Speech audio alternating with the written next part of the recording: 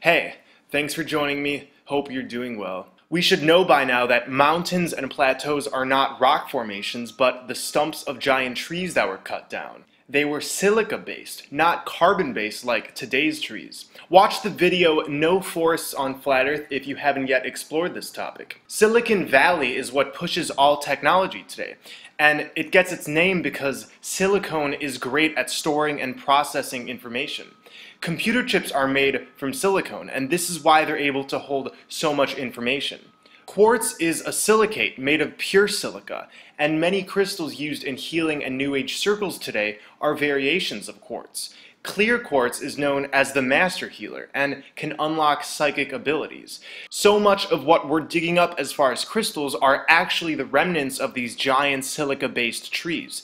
In James Cameron's Avatar, which is actually a history of our not so distant past, the natives communicated with these spectacular trees and were given divine information.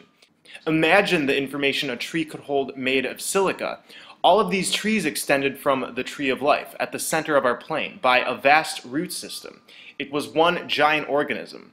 What we think to be a cave system is actually an old root system. These trees were huge, and so were their roots. Side by side, a carbon-based root system is strikingly similar to the cave systems, the silica-based roots. Gems and crystals are most abundant in caves, as we know, trees have a complex root system where they're able to communicate with one another. Trees can transport carbon dioxide, water, and other hidden information we can't detect with our senses through their root systems. If you've ever been in a room with tons of large quartz, amethyst, etc., you know that the energy is powerful. Crystals have been known to store information, and this is why they oftentimes require energetic cleansing. Imagine what kind of information and energy was circulating among this worldwide system of trees powered by the same material. And we're told that quartz is a rock-forming mineral. Now, this definitely makes sense. So think about it. How can a cave be constructed naturally out of the ground? We're given the bullshit answer that limestone gets dissolved over time and forms caves. But again, these systems are all too similar to that of a root system. Most rivers used to be filled with these roots as well. The rivers contained the above ground roots, while the caves in part contained the below ground roots. Just some speculation. Look at these photos of giant crystals inside of cave systems. This is insane. I'm proposing all of these giant root systems used to contain as many of these crystals, but were stripped of them and are now lifeless. I mean, just look at some of the caves without crystals. To me, they appear stripped. They look dead. An uprooted tree shows small roots in various sizes hanging from the bottom. Stalactites and stalagmites are very similar to this. Again, keep in mind these trees were enormous and way sturdier, made of thicker material. So somebody has harvested these minerals and crystals. Where petrified wood is, we see sand.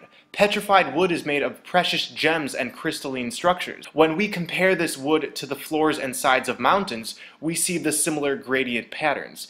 Pieces of petrified wood are pieces of these ancient trees. In these inland areas with large amounts of sand and in deserts, there's no access to the ocean, so the sand isn't coming from there. And what is this sand made of? Sand in inland areas are made of mostly silica and other materials, including forms of quartz. When a regular tree is cut down, dust flies. It starts covering the ground. I think you know what I'm getting at. Inland sand and deserts are not naturally forming, but were made from bits of silica and minerals that flew off of these organisms as they were cut down.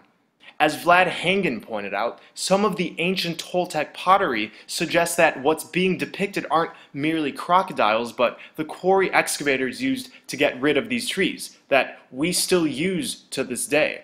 The ancient people probably saw these monstrosities and assume they were animals rather than man-made technology. Mount Meru is the magnetic mountain that lies at the center of our plane at the Arctic. The tree of life used to stand at the center, and it was cut down.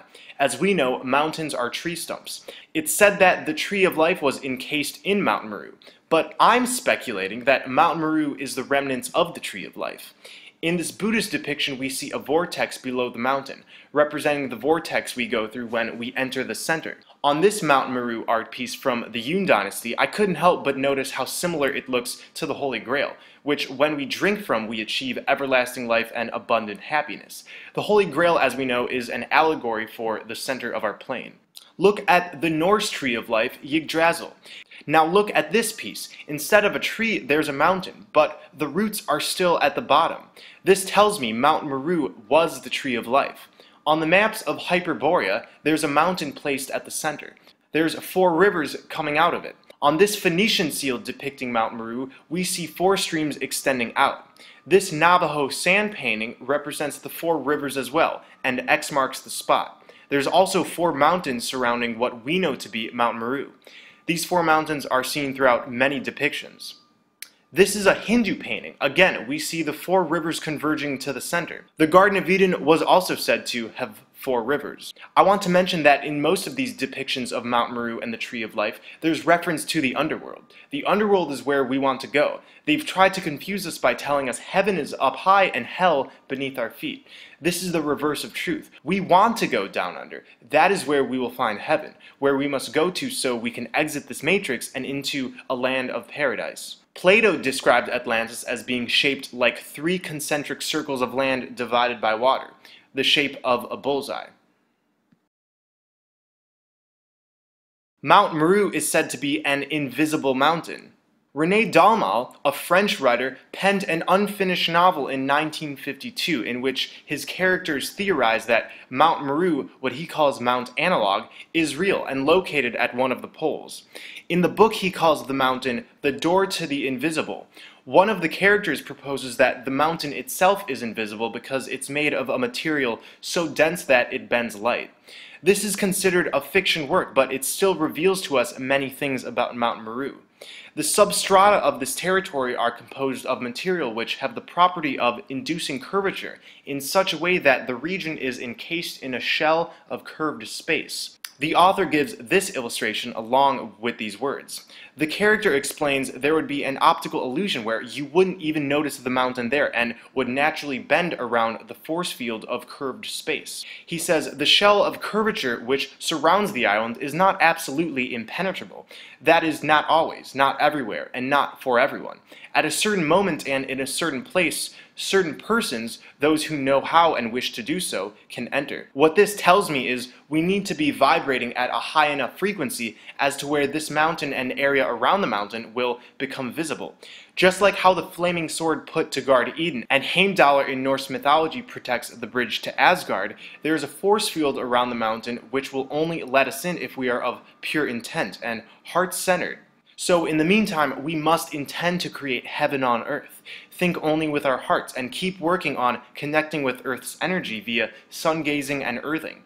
We can communicate with the sun, speak our intent towards it, and the same thing with the divine feminine energy that seeps through the soles of our feet when we earth.